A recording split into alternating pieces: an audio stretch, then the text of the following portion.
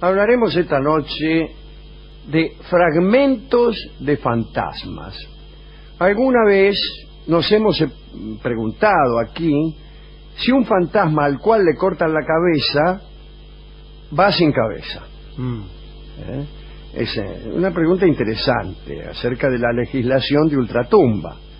Hoy haremos un catálogo de algunos fantasmas a los que les ha faltado un pedazo, o, o mejor todavía, pedazos de personas que son fantasmagóricos, como por ejemplo el dedo del bar del infierno, el dedo de un villarista que anda en pena, un dedo en pena, que anda por ahí tocando timbre.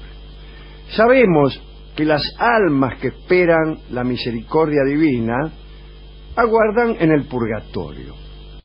A propósito de estas almas que esperan para entrar al cielo, existe en Roma un museo dedicado a los habitantes del purgatorio.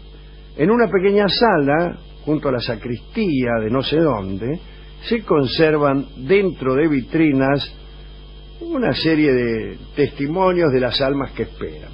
Allí hay sótanos, hábitos, Biblias, con huellas incandescentes a veces, eh, que han sido eh, dejadas por almas del purgatorio. La pieza más valiosa del museo se remonta al siglo XVIII y es la manga del hábito de la abadesa del monasterio de Todi. La, la manga está marcada con los dedos de una mano de fuego. Algo ocurrió el 2 de noviembre de 1732. En la iglesia del convento de Todi se estaba celebrando la misa al padre Pancini, y un, que era un, parecía un sacerdote muy querido, que había muerto hacía poco. Cuando estaba a punto de terminar la misa, apareció ante los ojos aterrorizados de los fieles una mano envuelta en llamas que agarró con fuerza el brazo izquierdo de la abadesa, la madre Chiara Isabela Fornari. Después, la mano dio unas volteretas en el aire y se fumó como haciendo un saludo. Todos los presentes reconocieron la mano candente como la mano del padre Pancini. Pregunto yo, ¿cómo hicieron para reconocerla? Bueno, cuesta entenderlo porque una mano ardiendo no deja ver aquellos detalles por los cuales es más sencillo reconocer una mano. Bueno, eh, por más que reconocieron una mano amiga, la mayoría de, de los presentes salió rajando. Otros creyeron que, merced a las oraciones de los feligreses, Pancini había sido liberado del purgatorio. Y entonces, antes de subir al cielo, había querido dar prueba de su agradecimiento a quienes lo habían beneficiado. Y como recuerdo de este episodio, eh, bueno, se guardaron la manga chamuscada del traje de la abadesa que presenta un aspecto como de mal planchada, ¿viste? Mm. Una mancha así, la marca de una mano tiene. De una plancha como una mano. Eh, los dedos, Los dedos. los dedos marrones. Así es. Otra historia es la de Constancia, Constanza de Cupis. El palacio de Cupis está en la Piazza Navona, en Roma. Había sido la residencia provisional del marqués de Villena, el embajador de España. ¿eh? Eh, algunos años más tarde, porque esto fue en 1603, algunos años más tarde vivió allí la noble Constanza de la que hablamos recién. Según la- las crónicas, no era una dama muy bella, pero poseía las manos más hermosas. Constanza se sentía tan orgullosa de sus manos que nunca llevaba anillos ni pedrería porque pensaba que estos adornos podían distraer la atención de sus admiradores. Hasta tal punto llegaba su orgullo que mandó hacer un molde de sus manos. ¿eh? Antes de entregarle el molde a Constanza, el escultor, que se encargó de aquel trabajo, expuso el yeso en su taller y cientos de romanos pasaron para ver, al menos de ese modo, las manos más famosas de la ciudad. Durante esa exposición pasó un viajero que se dijo adivino y que al contemplar las manos dijo al escultor que una de ellas corría peligro.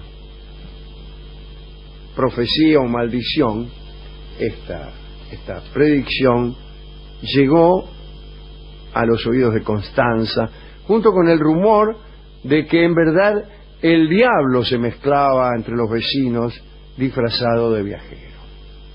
El caso es que una mañana, mientras trabajaba bordando un mantel de damasco, Constanza se pinchó con la aguja y el pinchazo gangrenó y los doctores decidieron amputar la mano enferma. Ni siquiera esto bastó para proteger a Constanza, que murió poco después de la operación.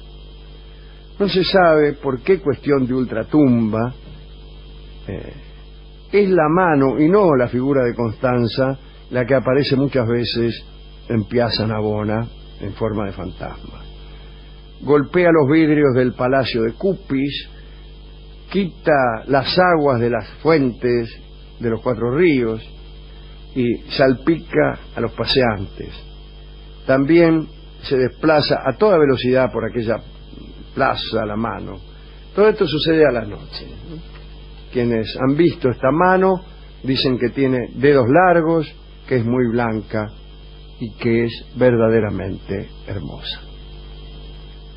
La siguiente historia también tuvo lugar en Roma, en la vía de Santa María de Il Pianto, eh, que es en pleno centro, centro histórico de Roma, ¿no?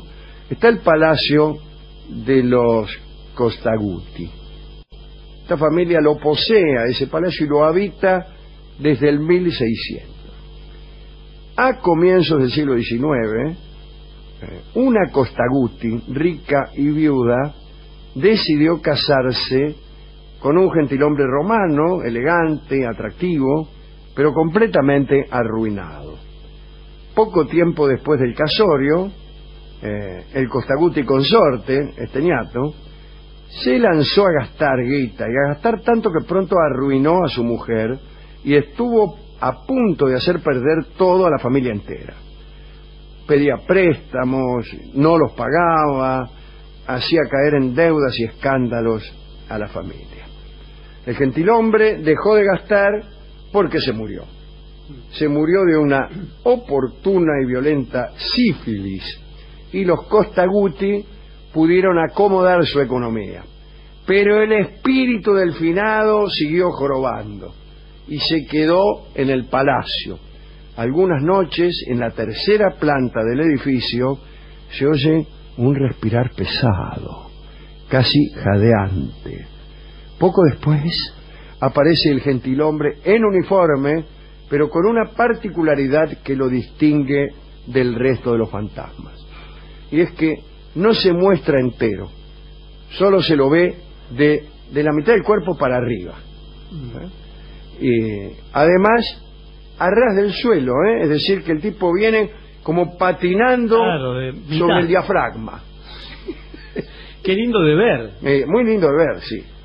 Como esos maniquíes que van por la mitad de los de los trajes, digo, que no le ponen los pantalones. Exactamente, claro. Así. Pero esto tiene una explicación, ¿eh? eh parece que a lo largo de los años el nivel del suelo de aquel palacio ha sido modificado. Y el fantasma o no se ha dado cuenta o no tiene más remedio que seguir moviéndose según la antigua planta. Yo creo que en realidad es lo segundo. Los fantasmas no son capaces de asimilar los cambios de la, de la arquitectura. Cuando, cuando cambian de lugar una puerta, el fantasma sigue pasando por donde estaba la puerta. Y por eso es que parece que atravesaran las paredes. O cuando hay una pared nueva, el fantasma no la registra. Y sigue. Sigue adelante. Y en este caso, cambiaron el nivel del piso y el fantasma sigue caminando como si el piso estuviera como antes, más bajo. ¿eh? O sea que los fantasmas son un buen indicio para arqueólogos, para reconstruir lugares para que ya reconstruir lugares tal como eran antes, basta con observar el comportamiento de los fantasmas. Eh, y esta ha sido la última historia de fantasmas fragmentarios. Eh, y yo creo que un pedazo de fantasma incluso es más conmovedor que un fantasma entero. Mire, cuando, cuando un fantasma más se acerca al, al aspecto humano, menos asusta. Mm. ¿eh? Bueno, dedicamos esta historia a Constanza, la de las manos lindas, y, vamos a utilizar estas manos de Constanza para dar entrada a Mano Blanca, que es el tango que escucharemos en- eh, a continuación en la versión de Nelly Omar.